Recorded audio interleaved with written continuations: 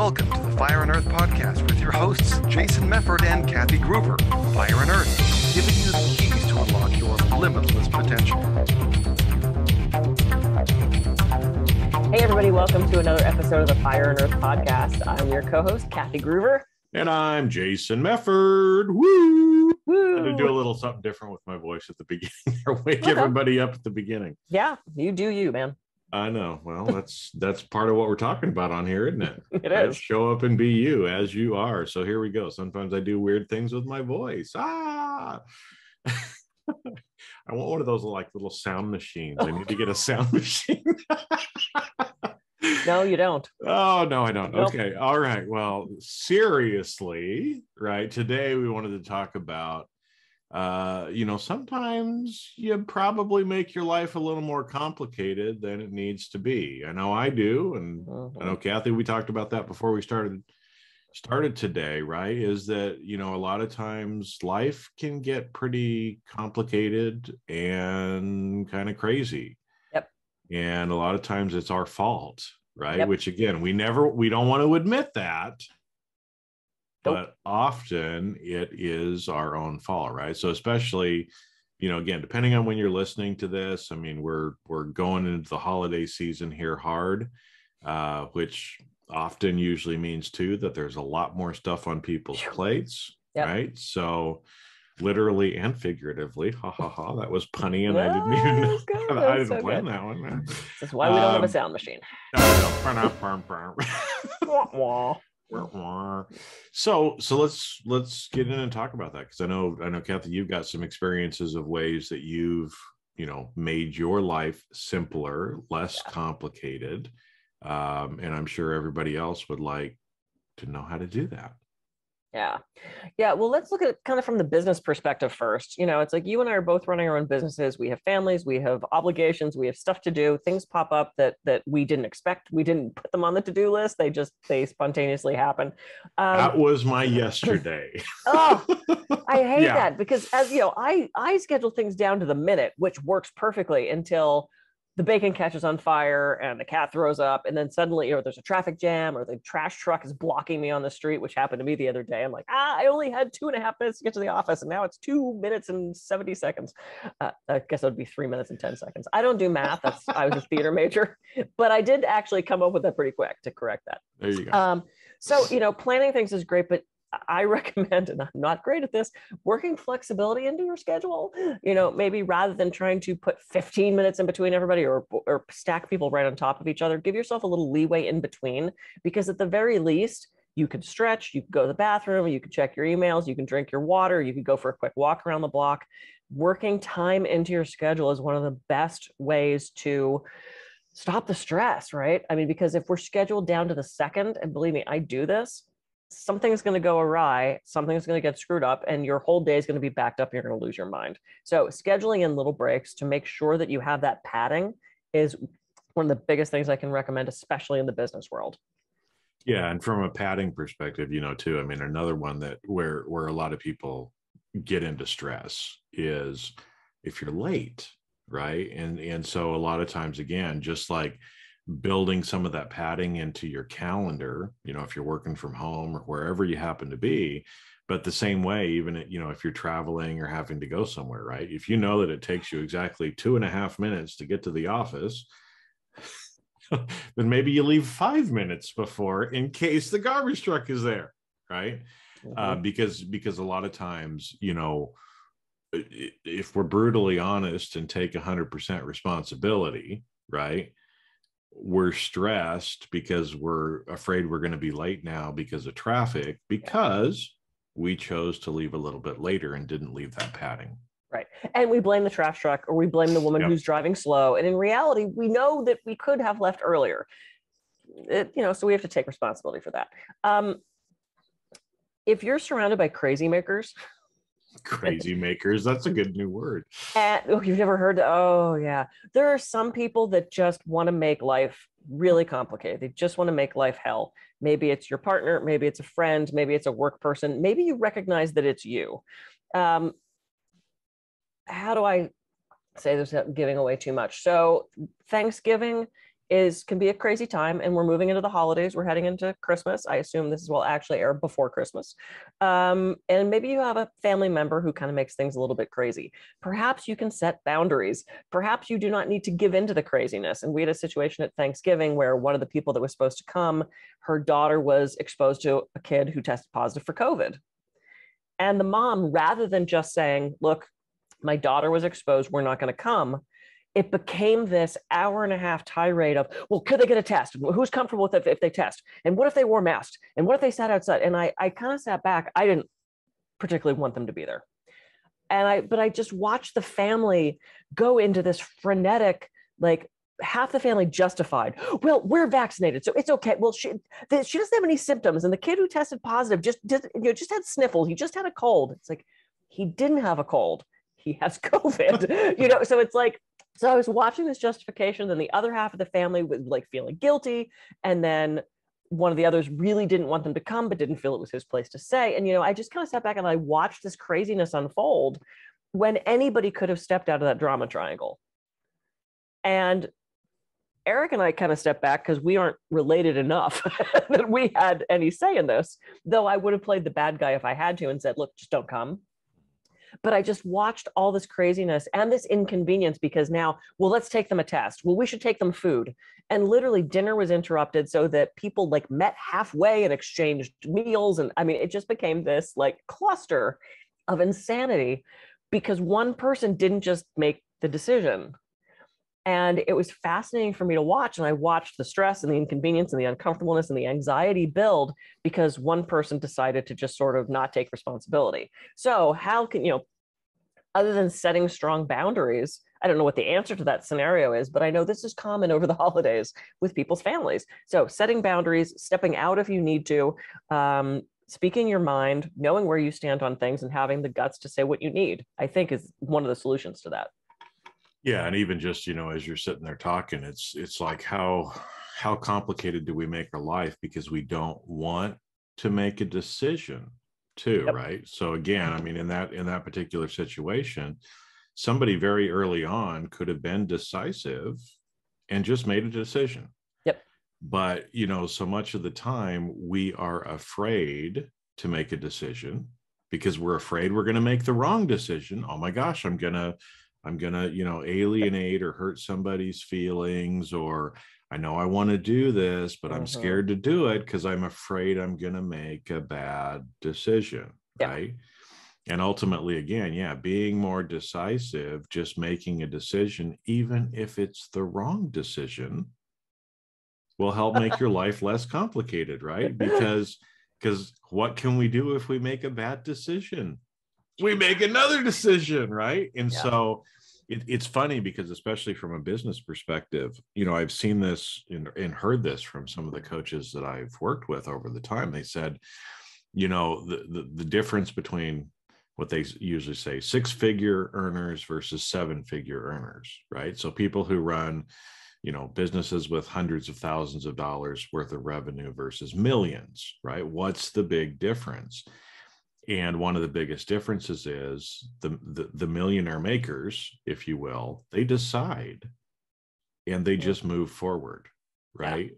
they they don't try to make it complex. They don't try to go through this whole decision making process you know putting down a t t accounts and you know doing your little uh-huh. lists and everything else. They just decide and move on.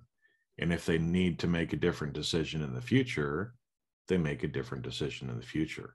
That significantly reduces the complexity in their life and the stress right. as well, because then then they're not ruminating about the whole thing, right? Because again, imagine how much energy you're wasting ruminating for the hour and a half when somebody could have made a decision in a minute or two.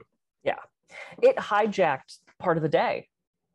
And it was so anxiety producing for for some of the people that were there and i started to feel so bad and that's why i finally i made the decision like look i i'm not related to this but i will make the decision i will be the bad guy and say look i'm uncomfortable with this happening if that's what needs to happen i will be the one to to to throw up the flag and go no this is not going to happen.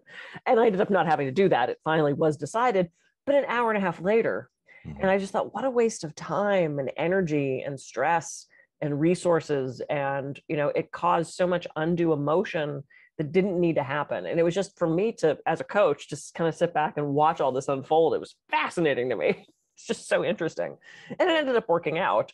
Um, but it was just it didn't need to be that way Mhm. didn't need to be that way. So that was that was a fascinating experience. So if you're heading into the holidays and you've got a crazy maker that you've got to deal with set boundaries. And it's okay to step out of a situation. I know we've talked about that before. Go for a walk. Go up to the bedroom. Go to the bathroom. Go outside. Go sit in your car. Go you know it's like there's ways to to remove yourself from that situation if you need to. It's okay to take a time out. Yeah, yeah and there's you know some some other things, right? That that people can probably do as well, right? There's there's certain ways now. There's people that offer services and do other things that can make your life easier, right? But a lot of times we we just tend to do the same things in the same way, the Yep. same process steps because that's what we've been used to doing right? You know, we we've talked earlier on earlier podcasts about your iced tea issue and your pitcher and your jugs, right? hey Uh, don't talk about my jugs I thought we could talk about. yeah. Okay. Anyway, all right. No jug. No jug discussion. for anybody that didn't hear that episode they're so Go back and right now. watch that one. go back and watch the resistance to change episode where we do discuss my jugs jason jesus no All sound right. machine for you now see that's not gonna oh, happen Oh, oh, man, man. Okay. Well, i was on board but now nope not gonna happen Now, no. Okay. wow anyway, unscripted. Here we go. Right. Uh, but there are and unedited, so we get all of this too in the middle of it. I love it. I love it. You're gonna laugh in this episode if you haven't already. So there we go yeah but but the but the idea being right is that there's a lot of things that we can do um, or a lot of services we can hire people to do certain Mhm. things to make our life a lot less complex Yeah. now i know you know one thing i've been thinking about because my my dad is a great example of this you know he's i get my stubbornness from him and from my mother so i'm kind of fucked that way right but um but you know he'll 88 year old man you know a little unsteady you know different things but he's been a contractor right and so Mm. there's certain activities around his house like i finally finally convinced him to hire someone to come mow the lawn about six months ago right? But i remember one time where you know he he does a lot what most of us do which is sometimes we look at it and say well i'm not i don't want to pay somebody to clean the leaves out of my gutter. So i'm going to pull out my ladder and i'm going to climb up there because i don't want to pay somebody mm-hmm. 50 bucks or 100 bucks or whatever it is. So he pulls out the ladder he gets up there he goes through the whole thing. He's coming down misses the last step falls mm-hmm. breaks his hip, ends up in the hospital, ends up in a rehab, spending tens of thousands of dollars instead of yeah a hundred dollars, right, to uncomplicate his life. So there's a lot of things, you know, around that is where we can look around and say, okay, what are some of the different activities or processes, if you will, that I'm doing that are maybe taking me more time than it needs to? yep or are things I don't like to do, Yep. or are are things that are causing me stress. Yeah. Right. And see what are some some ways, what are some things you can do to uncomplicate your life and take some of those things off, right? Because if you hate cooking dinner, right, you just hate it, but you do it, right? Imagine how much of your time each day you're hating doing that Yeah. what if you hired a chef or or you know some other some other way to get past that it's not only going to you know make your life less complex Yep. but you're probably also going to feel better and avoid a lot of that stress and anxiety and other things that might come along with doing those activities that you've just been habituated into doing and so you Right. just keep doing it because you feel like you should do it or you have to do it. Yep. I sat down when I was starting to feel so stressed about all my work stuff. And so I sat down and I wrote down everything I was doing massaging people, talks, podcasts other people's podcasts, writing uh, articles for other people's websites and blogs, doing all the social media, do you know, and I wrote this whole list down and I had this list of like 14 things and I went, well, good Lord, no wonder I'm exhausted. Like I am doing way too much. And so I ranked them in order of what I actually really liked to do. And I looked at those bottom three, which were social media, writing articles for other people's stuff, and like contributing as a guest to other people's like radio, TV, you know, that kind of stuff. And I thought, well, do I have to be doing that? There is no benefit for me at the time in writing pieces, taking my time to write pieces for other people's blogs there wasn't a benefit to me. And I simply didn't like doing social media. So I hired someone to do my social media. And the other two things that I didn't want to do, I just stopped doing. You know, and there was that obligation of, well, you should be doing that. And everyone says you should do that. I don't have time. It's the whole down in the weeds thing, you know, is where was my my focus? Where was my higher purpose better served? So that's one thing I did is I made the list of all that stuff I had to do the other thing that reminded you reminded me of is I had a client, she was incredibly wealthy like Oprah wealthy. And she became a very good friend as she was a massage client of mine. And I was having a, a fondue party that night. She said, What's on tap the rest of the day for you? And I said, Oh, I said, I've got two more clients and I've got to go home and I've got to chop all this bread. We're having all these people over for fondue. And she kind of chuckled. And I said, Oh, but you don't like fondue? And she goes, No, uh, I'm just laughing that you're going to cut up six loaves of bread. And I said, Why? And she said, You know that the bakery will do that for you, right? And I said, What?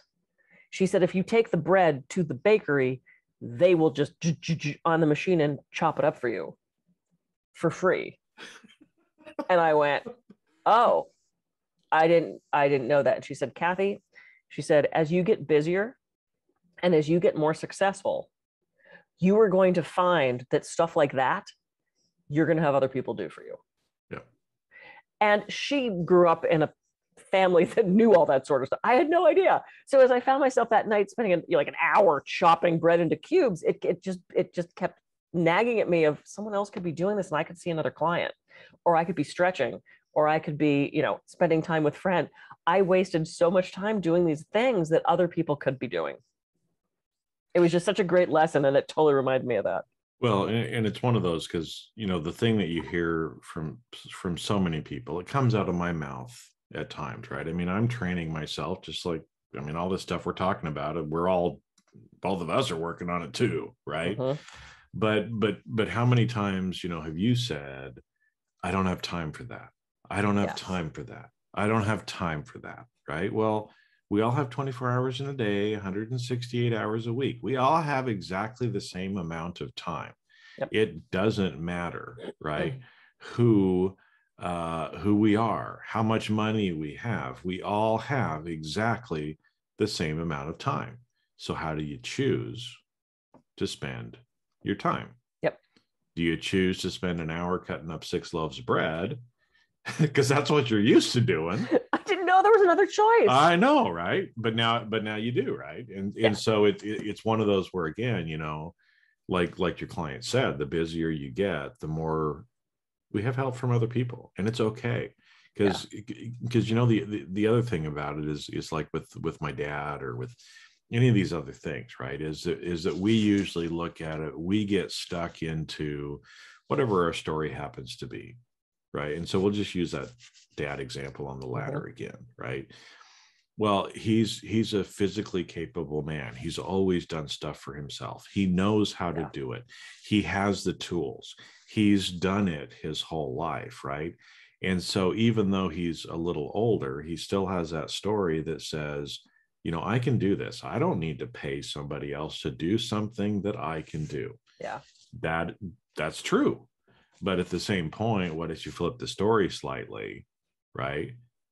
By paying somebody else to do it, you're also allowing that other person to either serve yeah and or earn their livelihood as well right yeah. so you know uh, you're actually giving by allowing other people to do things like that. And I know we've talked about that in, in different episodes before. I remember the the story you had told about, you know, the client, I think, taking you someplace and he's yeah, like, Oh my get my gosh, car I to would pick up my car. yeah, to pick up your car. I would so love to do that, right? And Yeah. so you allowed him that that opportunity. So again, it's it's not even necessarily about saving the money, you know, but you're actually helping somebody else and you're helping yourself Yeah. by doing some of those things. And it's i mean to me there's what there's two currencies there's time and there's money right? And that mm-hmm. convenience goes in that.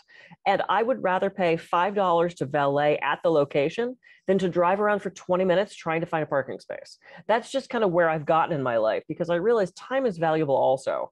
And i don't mind spending a little bit more if it saves me time if it's more convenient for me if it's easier for me now to come out of that event and have my car waiting as opposed to having to trudge 10 blocks in heels at the end of a night, you know, to, to find where the heck I put the car. So all of that comes down to a choice, and, that's an individual choice. Uh, and I had mentioned before we got on the air, uh, my boyfriend and I started doing HelloFresh. And it has been, first of all, it's when we both do it together, it's so much fun. It's like just creating this, we get to create this meal together. And he's not as skilled in cooking as I am because he hasn't been cooking as long. So if I'm home later, he can start it. And like I got home last night and dinner was ready. It was so nice. And he feels good about doing it. And it's really good food and it's healthy and it saved us money at the grocery store. Yeah, you have to pay for the Hello Fresh, but you spend less at the grocery store. So it's that sort of balances out.